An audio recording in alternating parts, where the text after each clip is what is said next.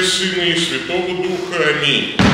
Благодать Господа нашего Иисуса Христа, любовь Бога Отца и общение Святого Духа да будет со всеми вами. И со Духом Твоим. Садитесь, братья и сестры.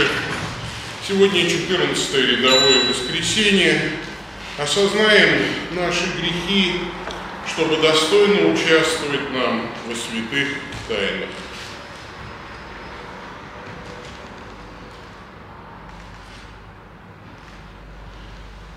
Исповедую перед Богом Всемогущим и перед вами, братья и сестры, что я много согрешил мыслью, словом, делом и неисполнением долга. Моя вина, моя вина, моя великая вина, поэтому прошу блаженную Преснодеву Марию, всех ангелов и святых, и вас, братья и сестры, молиться обо мне Господу Богу нашему. Да помилует нас всемогущий Бог, и, простив нам грехи наши, приведет нас к жизни вечной. Аминь.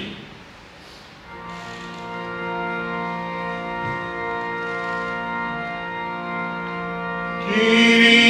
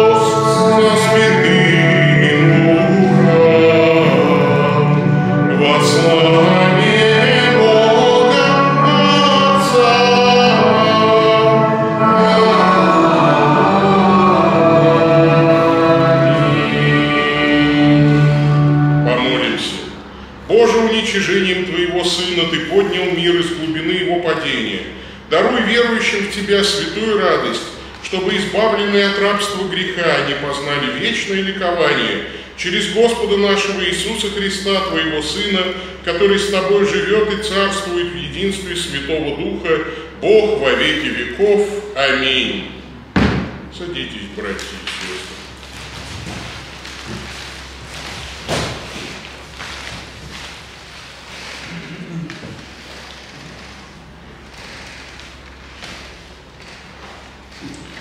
Они мятежный дом, но пусть знают, что был пророк среди них. Чтение книги пророка Иезекииля. В те дни вошел в меня дух и поставил меня на ноги мои, и я слышал говорящего мне. И он сказал мне, «Сын человеческий, я посылаю тебя к сынам, к сынам Израилевым, к людям непокорным, которые возмутились против меня.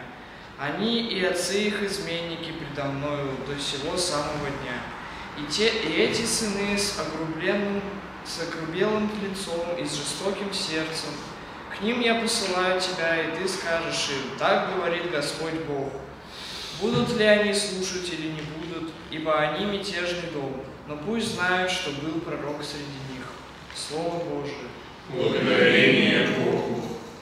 Отче наши Господу, дарующему милость. Отче наши Господу, дарующему милость. Тебе возвожу, возвожу очи мои, живущие на небесах. Вот как очи рабов обращены на руку Господ их. Отче наши Господу, дарующему милость. Как очи рабы на руку госпожи ее, так очи наши Господу Богу нашему, доколе Он помилует нас. Отче наши Господу, дарующему милость. Помилуй нас, Господи, помилуй нас, ибо довольно мы, довольно мы насыщены презрением, довольно насыщена душа наша поношением от надменных и уничижением от гордых. Отче наши Господу, дарующему милость. Буду хвалиться своими немо- немощами, чтобы обитала во мне сила Христова. Чтение второго послания святого апостола Павла Коринфянам.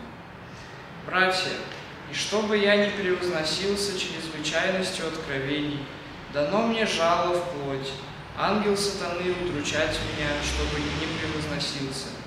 Трижды молил я Господа о том, чтобы удалил его от меня, но Господь сказал мне, довольно для тебя благодати моей, ибо сила моя совершается в немощи. И потому я гораздо охотнее буду хвалиться своими немощами, чтобы обитала во мне сила Христова. Посему я благодушествую в немощах, в обидах, в нуждах, в гонениях, в притеснениях за Христа, ибо когда я немощен, тогда силен. Слово Божие. Благодарение Богу. Дух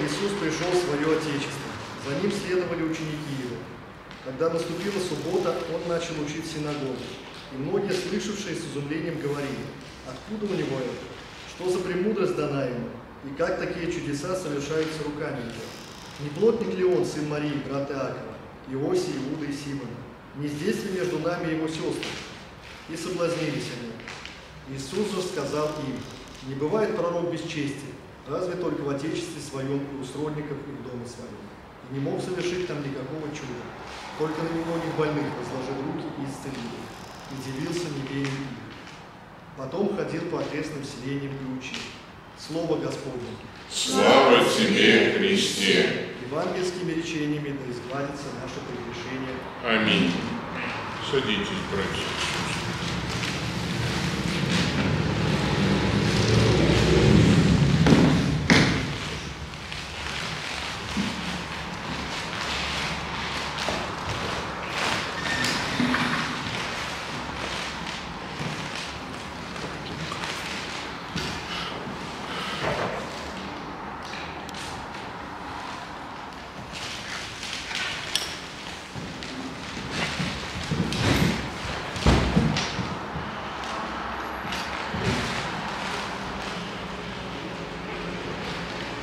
Дорогие братья и сестры, мы сегодня продолжаем читать Евангелие от Луки.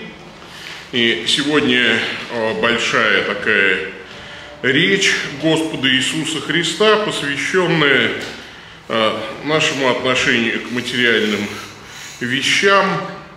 Э, Вот я читал как-то воспоминания известного артиста Алексея Баталова, он говорит, что когда пришел он из армии, он должен был вернуться в Амхат, и Анна Андреевна Ахматова, ближайший друг дома, подарила ему некоторую сумму денег, полученную от переводов, чтобы э, я немного приоделся.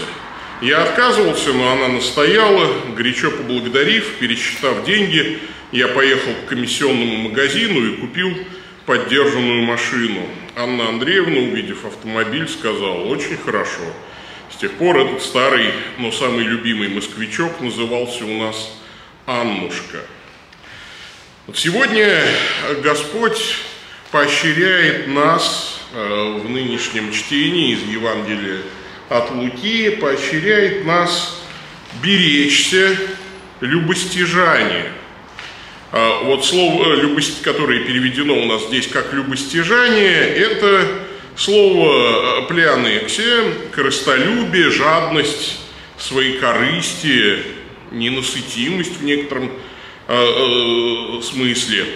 А слово «берегитесь» э, это такой глагол, буквально ну, выставьте стражу или поместите себя под охрану вот, от этой жадности – ну, либо наоборот, эту жадность посадите в тюрьму такую своеобразную.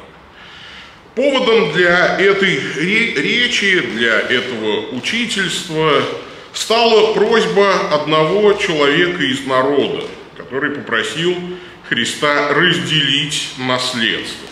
Давайте прочитаем целиком весь этот отрывок из Евангелия от Луки, 12 глава, с 13 по 31 стихи.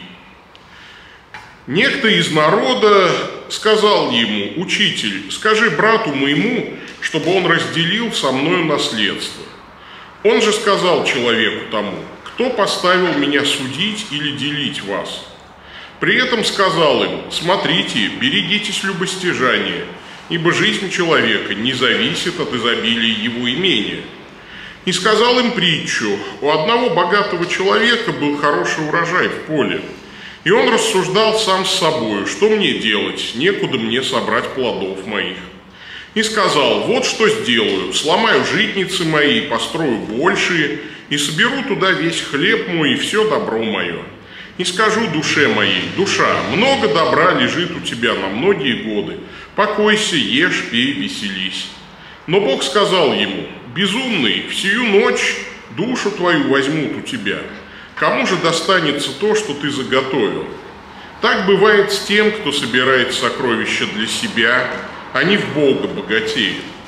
И сказал ученикам своим, «Посему говорю вам, не заботьтесь для души вашей, что вам есть, не для тела во что одеться. Душа больше пищи и тело одежды. Посмотрите на воронов, они не сеют, не жнут, нет у них ни хранилищ, ни житниц, и Бог питает их. Сколько же вы лучше птиц? Да и кто из вас, заботясь, может прибавить себе роста хотя на один локоть? Итак, если и малейшего сделать не можете, что заботитесь о прочем? Посмотрите на лилии, как они растут. Не трудятся, не придут. Но говорю вам, что и Соломон во всей славе своей не одевался так, как всякий из них. Если же траву на поле, которая сегодня есть, а завтра будет брошена в печь, Бог так одевает, то коль ми паче вас, маловеры. Итак, не ищите, что вам есть или что пить, и не беспокойтесь, потому что всего этого ищут люди мира сего. Ваш же Отец знает, что вы имеете нужду в том. Наипаче ищите Царство Божие, и это все приложится вам. Опасность любостяжания. Берегитесь любостяжания, говорит нам Господь. Почему нам нужно беречься вот этого любостяжания, страсти к приобретению, э, жадности, э, страсти к накопительству? Во-первых, потому что любостяжание всегда пытается превратить Бога из Господа в слугу. Мы видим, с чего начинается эта беседа. Некто из народа сказал ему, «Учитель, скажи брату моему, чтобы он разделил со мной наследство». Обратите внимание на то, как звучит эта просьба. Видно, что вот этот несчастный человек э, должен вступить вот в дорогое его сердцу родительское наследство, однако брат, с которым он вместе ел, пил, э, значит, там играл, стал вдруг далеким и жестоким. Кто-то сказал из великих, не помню кто, ты не знаешь человека до тех пор, пока не делил с ним наследство. Так бывает. Я тоже это знаю, потому что как только остается наследство, вот даже самые близкие люди начинают ругаться друг с другом, ссориться. А Генрих Гейне писал, разделяет всех наследство, здесь и войны, и отравы. Жизнь не цель, а только средство для дарованного права мы видим, что этот молодой человек на самом деле не просит Христа, он ему приказывает, похоже.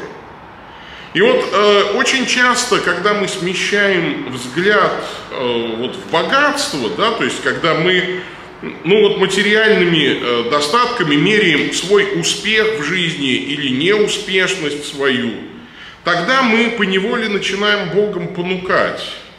И очень часто а вот наше сердце оказывается запачканным грехом.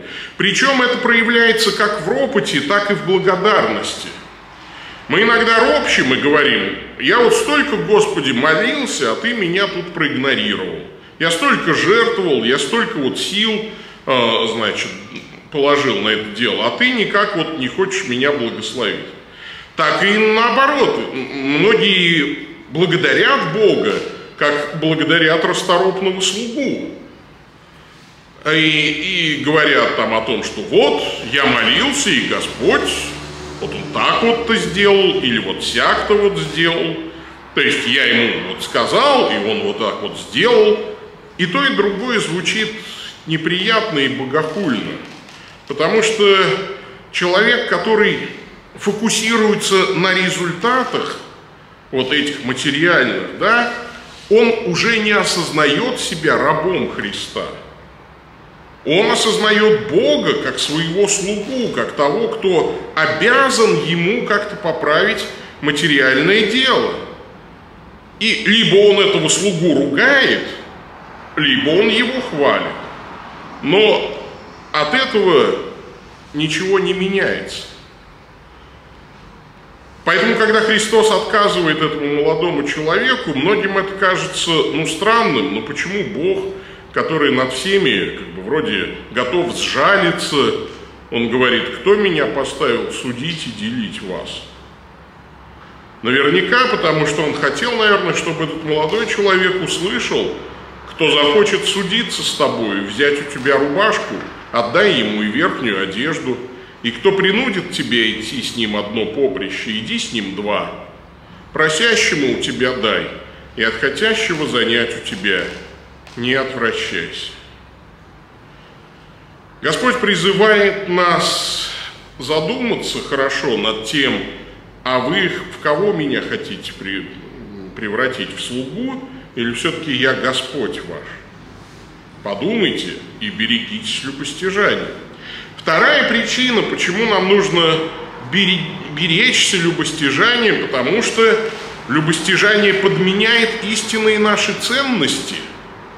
Вот здесь Христос рассказывает дальше притчу, очень известную притчу про глупого богача, который э, сломал свои житницы, построил больше и много э, накопил добра и в эту же ночь умер. Конечно, моральный смысл этой притчи, в общем, ясен даже ребенку. Главная ценность – это наша душа, наша жизнь, а не наши деньги. И внезапная смерть, она как раз и показывает истинные ценности. Многие пытаются это понять даже при жизни. Вот я э, в городе Пушкине слышал, как гид рассказывала, что во времена царствования Елизаветы Петровны была мода, ну, такое украшение покоев и статуй дворца золотом, поэтому все было украшено очень пышно. Но когда на престол зашла Екатерина, мода на золотое убранство прошла. И императрица приказала со стен, с, с, вот, золото, со статуи соскрести.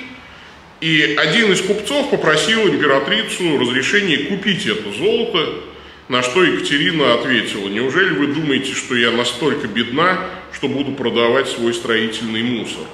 И золото было просто выброшено. И вот, когда ты слышишь эту историю, ты думаешь, ну вот, это интересный момент. От чего так поступила императрица? То ли, что называется, с жиру бесятся люди некоторые, да, то ли Действительно, потому что человек не придавал значения большого золота. Материальное, ведь как мыльный пузырь, оно, мыльный пузырь, кстати, может очень долго держаться. Вот, я помню, мы ставили в детстве эксперименты, и там несколько минут, я помню, держался крепкий мыльный пузырь. Но он всегда лопнет, обязательно лопнет. И когда он лопается, глупо о нем рыдать, каким бы большим и красивым он не был. Другое дело вещи. Мы к ним, конечно, очень привыкаем, и я грешен сам привыкаю к вещам. Но Господь говорит, что не это должно быть нашим сокровищем. Потому что бывает так, что сам Господь э, посмеется над нами. Э, вот известно, что старый Рокфеллер зарабатывал в неделю более миллиона долларов, но на свою еду мог тратить всего 5 долларов в неделю, потому что был болен, питался протертыми всякими там штуками, картофельным пюре и кашами, потому что сильно болел. А богатым быть э, только лишь в материальном, это означает обеднеть в каком-то другом уровне.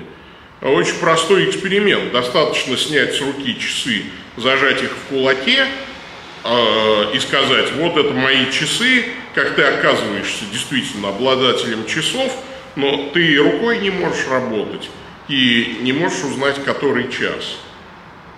Все материальное, как говорил Христос в Нагорной проповеди, либо сломается, либо испортится, либо будет украдено. Буквально все. Если это не вложить в Царство Небесное. Так бывает со всяким, да, кто не в Бога богатеет. Вот богатеть нужно, говорит Христос, и можно, но богатеть нужно в Бога, буквально. То есть нужно богатеть, осознавая, что деньги, которые дает Господь, это средство для того, чтобы послужить Богу, и не более того. Потому что любостяжание может привести к настолько серьезным э, вот, сменам парадигмы, что ты даже можешь потерять спасение, как в Ветхом Завете, в книге Иисуса Новина, мы читаем про Ахана, которому так полюбилась э, прекрасная синарская одежда и 200 сиклей серебра и слиток золота весом в 50 сиклей, что он решил взять это заклятое. Это вот харем был так называемый, да, харам или, ну, то есть вот заклятое, то есть то, что было отделено на уничтожение. И, но он подумал, ну вот зачем уничтожать прекрасную одежду и драгоценные металлы. Все равно это уничтожится. Я это возьму себе, и никто не узнает. А Господь перестал посылать благословения и победы, потому что это был грех, это было воровство и богохульство. И в результате грех Ахана открылся, и были казнены все его близкие, и он тоже.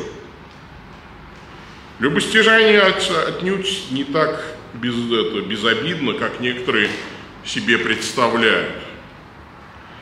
Третья причина, почему нам нужно любостяжание беречься, потому что оно искажает жизненные цели. Вот с 22 по 31 стихи Господь говорит, что нам не нужно заботиться, да? Не заботьтесь для души вашей, что вам есть, не для тела во что одеться. Иисус здесь запрещает необычную такую благоразумную предусмотрительность. Она подобает каждому взрослому человеку. Господь запрещает здесь беспокойство, тревогу и суету. Господь не оправдывает беспомощное, безрассудное, бездумное, расточительное отношение к жизни. Он запрещает предаваться изматывающему, мучительному страху, отнимающему радость жизни. Мерим нам употребляет здесь евангелист это слово, что значит мучиться, беспокоиться с тревогой. Вот э, буквально волноваться о том, будет у тебя богатство или нет. И Господь говорит, что не надо поэтому волноваться о богатстве. Ну вот почему? Ну потому что, во-первых, жизнь ваша в Божьих руках. Душа не больше ли пищи и тела одежды? Бог обеспечит работу тела, сердца и легких. Это все равно, что каждый день предаваться э, вот такой панической атаке о том, а вот часто у меня сердце стучит, а вот я усну, будет оно стучать или нет? И серьезно там об этом думать. А что будет, если у меня легкие откажут или почки? Ну, то есть есть люди, которые, конечно, так загоняются, и по ипохондрии такой. То есть они живут в постоянном стрессе и страхе. И вот Господь говорит, ну вот Бог, вы же обычно об этом все-таки не беспокоитесь, это все-таки такая редкая патология. То есть Он обеспечивает работу вашего тела и сохранность души. Так неужели Он не позаботится и об остальном? Он это может сделать даже без посредства пищи или одежды. Бог говорит, даже заботиться о птицах. Вот здесь говорится про птиц, про воронов – которые не сеют, не жнут и так далее.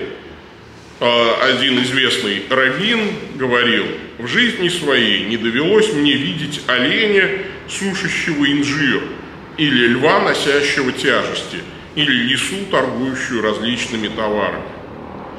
Бог как-то их питает, вас пропитает. То есть вы об этом не переживайте, вы делаете свое дело, просто честно работаете. И вот здесь Господь честно нас предупреждает, вы вообще-то мало что можете изменить. Вот я думаю, что каждому дается своя мера. Кто из вас, заботясь, может прибавить себе росту хотя на один локоть? Вот богатство – это как рост. Вот кому-то Бог дал большой рост, а кому-то нет. И вот тому, у кого рост маленький, глупо ну, сетовать на это, или тому, у кого большой, там, сетовать на это. Вот Бог вот так сделал. Может произойти, конечно, чудо. Чудеса случаются разные. И человек бедный может внезапно разбогатеть. Но это опять же воля Божья. И вот здесь, если Господь хотел бы, чтобы мы были очень богатыми, Он бы нас такими сделал. Равно как, если бы Он хотел, чтобы у нас был большой рост, Он нам его дал и так далее. То есть Э, беспокоиться о богатстве это все равно, что беспокоиться о том, какого ты роста. Ну вот какой есть, такой есть, довольствуйся этим. Есть свои плюсы в высоком росте, в маленьком, э, масса плюсов и там, и там. Поэтому вот все зависит от Бога, он говорит. Если Господь пожелает, что-то изменится. Не пожелает, не изменится. И вот вы своим ропотом или своим беспокойством ровно ничего не измените. Но Бог заботится даже и о растениях. Вот тут и лилии, пожалуйста, которые очень красивые, одеваются так, что и Соломон во всей своей славе не одевался. И, конечно, беспокойство такое свойственно язычникам, говорит Христос. Всего этого ищут люди мира сего. И Господь ведь знает, в чем вы нуждаетесь, поэтому вы тоже не переживайте.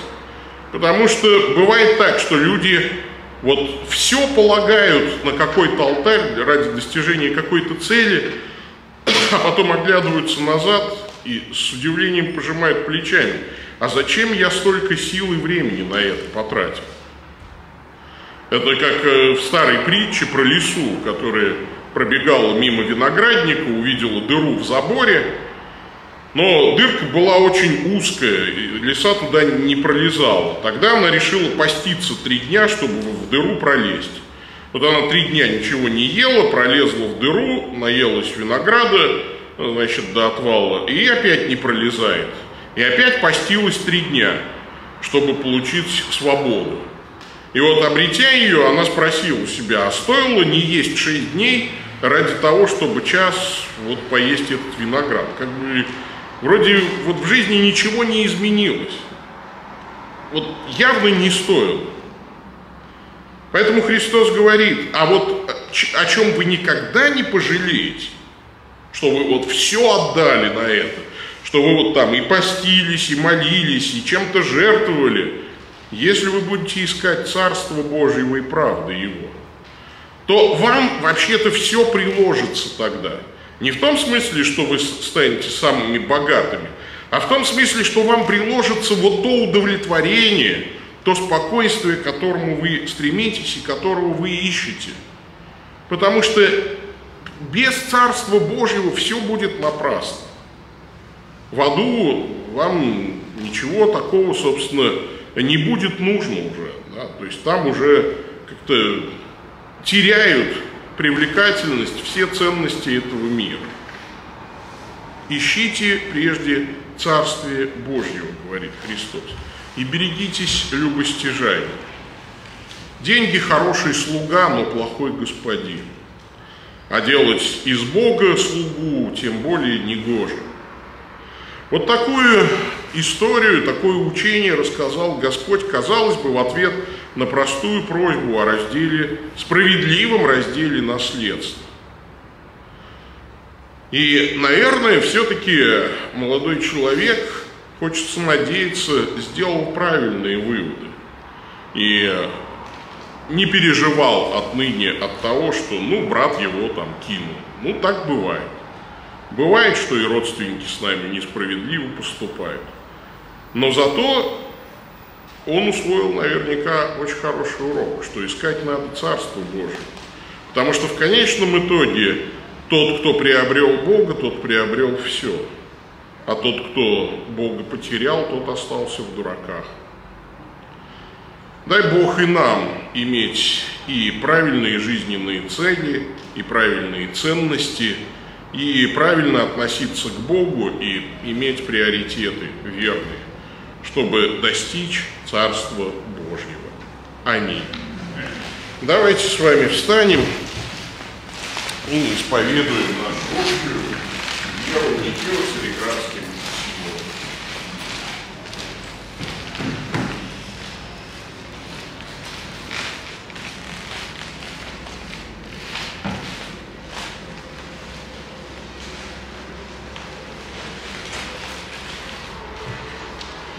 Верую в единого Бога Отца Всемогущего, Творца неба и земли, видимого всего и невидимого, и во единого Господа Иисуса Христа, Сына Божия Единородного, от Отца рожденного прежде всех веков, Бога от Бога, свет от света, Бога истинного от Бога истинного, рожденного, несотворенного, единосущного Отцу, через которого все сотворено, ради нас, людей, и ради нашего спасения, сошедшего с небес и воплотившегося от Духа Святого и Марии Девы, и ставшего человеком, распятого за нас при Понтии Пилате, страдавшего и погребенного, воскресшего в третий день по Писанию, восшедшего на небеса и сидящего одесную Отца, вновь грядущего со славою судей живых и мертвых, и царству его не будет конца.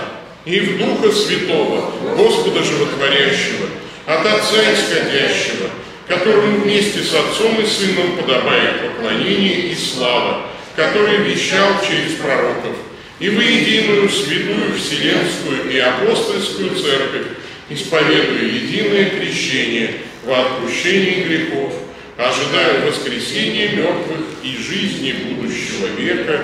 Аминь. Братья и сестры, попросим Господа нашего, дабы все люди познали истину и спаслись. Услышь нас, Господи. Услышь нас, Господи. Помолимся о Церкви Святой, да соединится она в вере и совершенной любви. Услышь нас, Господи. Помолимся о патриархе нашем Леонардо, обо мне недостойным, об всех епископах и священниках, да хранит их Господь для Святой Церкви Своей. Услышь нас, Господи. Помолимся обо всех народах, да обретут они истину Евангелия и примут дар спасения. Услышь нас, Господи. Помолимся обо всех страдающих телом и душою, да ощутят они нежную любовь и благодатную помощь Бога. Услышь нас, Господи. Помолимся о пребывающих в тяжком грехе, да внемлют они глазу Божию в своей совести и отвратятся от своих беззаконий. Услышь нас, Господи. Помолимся о нас, здесь предстоящих, да свидетельствуем мы о нашей вере словом и всей жизнью своей. Услышь нас, Господи. Молимся Тебя за мир и дружбу в деревне. Услышь нас, Господи. Молим Тебя о здравии.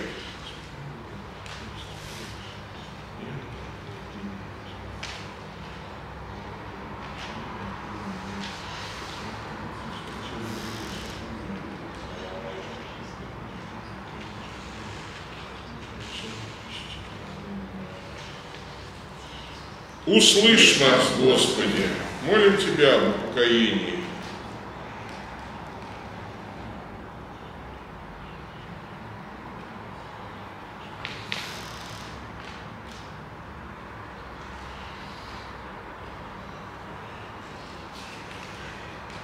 Услышь нас, Господи.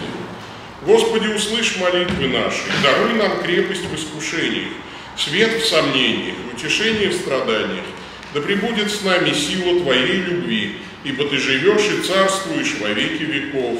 Аминь. Садитесь, братья и сестры,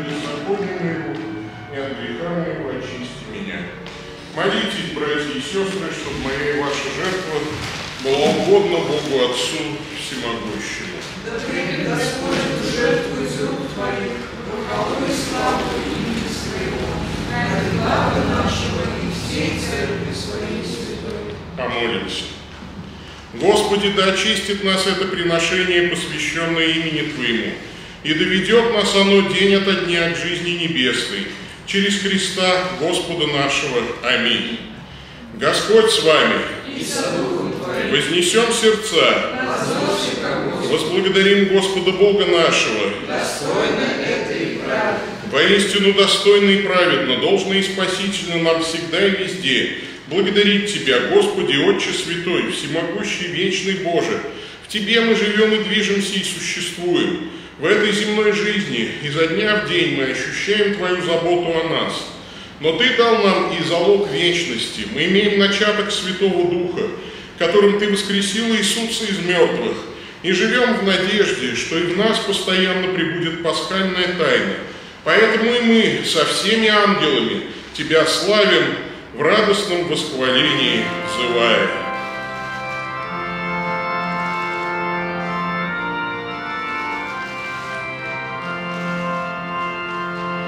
Свят, свят,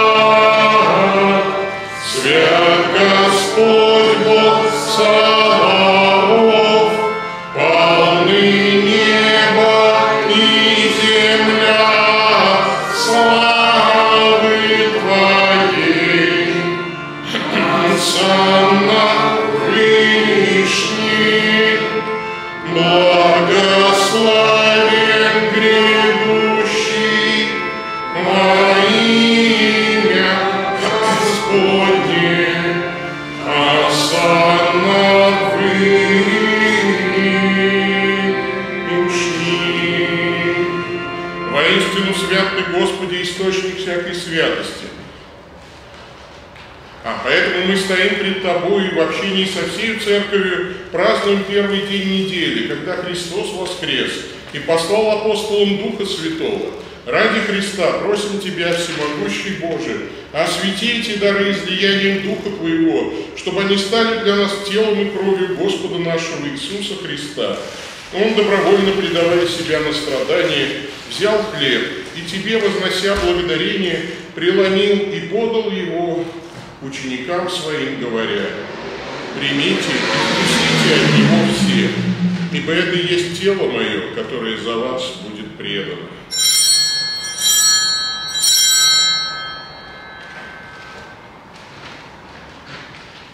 Подобным образом после вечери, взяв чашу и вновь вознося тебе благодарение, он подал ее ученикам своим, говоря, «Примите и пейте из нее все, ибо это есть чаша крови моей, нового и вечного завета, которая за вас и за многих прольется во отпущение грехов.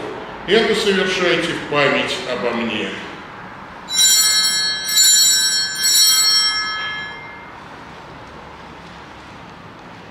Велика тайна веры, смерть Твою Возвещает Господи, воскресение Твое исповедуем. ожидая пришествия Твоего. Итак, вспоминая смерть и воскресение Его, Тебе, Господи, приносим хлеб жизни и чашу спасения. И благодарим Тебя, ибо Ты удостоил нас стоять пред Тобою и служить Тебе. Смиренно молим, что, причащаясь тела и крови Христа, мы были собраны Святым Духом воедино. Помни, Господи, о церкви Твоей, распространенной по всей земле. Сделай ее совершенной любви, вместе с патриархом нашим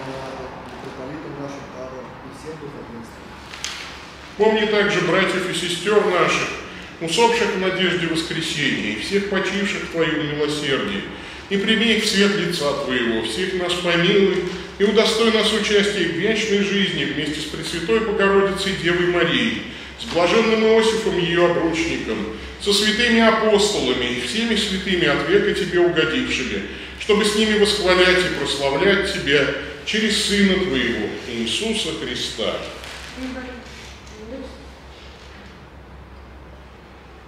Через Христа, со Христом и во Христе, Тебе, Богу Отцу Всемогущему, в единстве Духа Святого, всякая честь и слава во веки веков. Аминь. Спасительными заповедями вдохновленные, божественными наставлениями наученные, дерзаем взывать «Отче наш, сущий на небесах, да светится имя Твое, да придет царствие Твое, да будет воля Твоя и на земле, как и на небе. Хлеб наш насущный дай нам на сей день, и прости нам долги наши, как и мы прощаем должникам нашим, и не введи нас в искушение, но избавь нас от лукавого. Избавь нас, Господи, от всякого зла. Даруй милостивый мир в дни наши, чтобы силой милосердия Твоего мы были всегда свободны от греха и ограждены от всякого смятения, ожидая исполнения блаженного упования и пришествия Спасителя нашего Иисуса Христа. Ибо Твое есть царство, и сила, и слава во веки. Аминь. Господи Иисусе Христе, Ты сказал апостолам Своим, «Мир оставляю вам, мир мой даю вам, не взирай на наши грехи, но на веру Церкви Твоей, и по воле Твоей благоволи умирить и объединить ее, Ты живущий и царствующий во веки веков. Аминь. Мир Господа нашего да будет всегда с вами. Приветствуйте друг друга миром и любовью.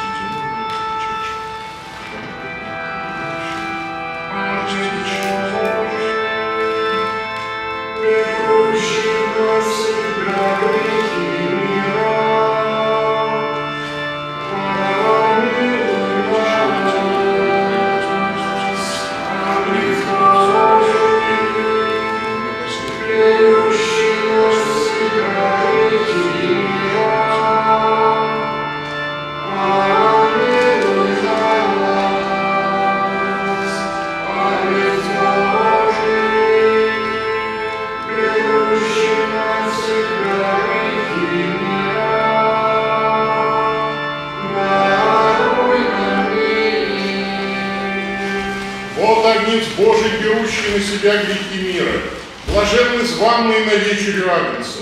Господи, я не достоин, чтобы Ты вошел под кров мой, но скажи только слово, и исцелится душа.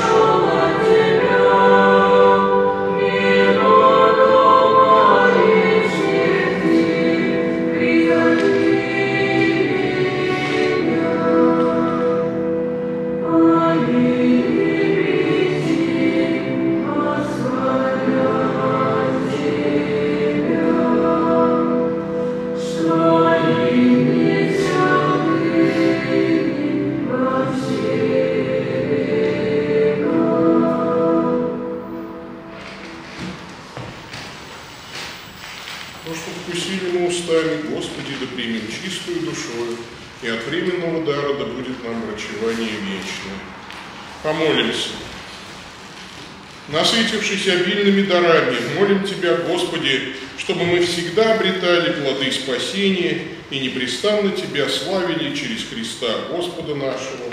Аминь. Садитесь, братья все,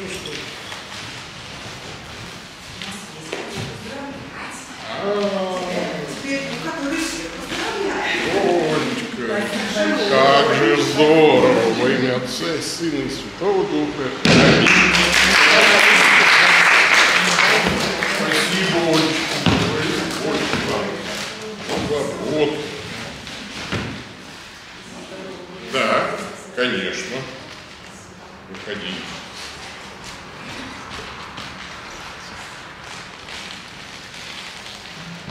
Я бы хотела м, выразить благодарность, э, попросить молиться и такой мини-призыв, наверное, сказать.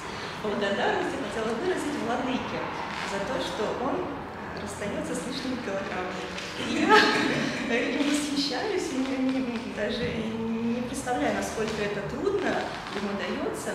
И вот, э, вдохновившись его примером, я хочу попытаться, ну то есть я уже пытаюсь, хочу расстаться со своими страхами по поводу э, парковки. Ну, многие знают, что у меня уже права там 17 лет, машину ну, лет 5 точно, а паркуюсь я очень плохо э, из-за того, что я боюсь именно. То есть я когда сажусь в машину, у меня вот такой страх, вот здесь вот прям физически, э, очень страшно. И я сейчас предпринимаю очередную попытку, надеюсь, что это будет победа и последняя, опять поучиться парковаться. Прошу ваших молитв.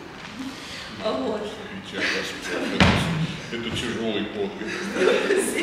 И также я хочу э, позвать в компанию кого-то, может быть, кто-то хочет а тоже избавиться от чего-то лишнего в своей жизни, каких-то старых привычек или чего-то. Э, Вот э, одной, ну, с кем-то мне будет веселее.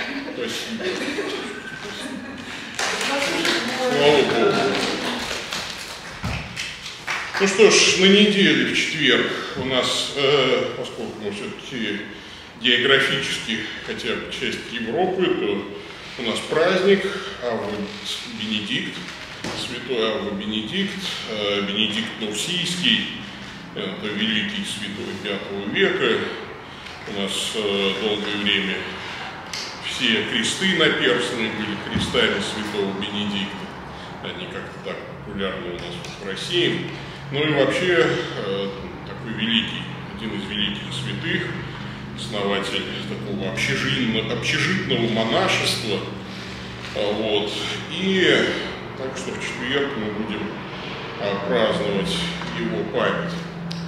Ну и следующее воскресенье, если Бог даст жизни, то это будет э, 15 или того воскресенье, тоже здесь будет место. Ну а сейчас давайте встанем, преклоните головы ваши и примите Божье благословение. Да благословит вас Господь и сохранит вас. Аминь. Да презрит на вас Господь светлым лицом своим и помилует вас. Аминь. Да обратит лицо свое на вас и даст вам мир. Аминь. И благословение всемогущего Бога, Отца и Сына и Святого Духа, да снизойдет на вас и пребудет с вами всегда. Аминь.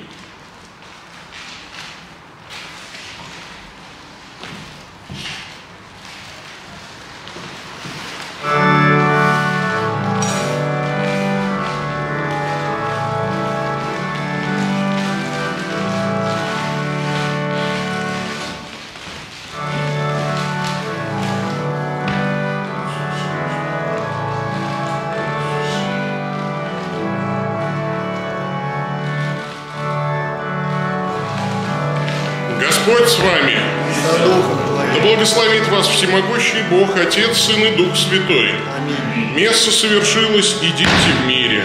Благодарение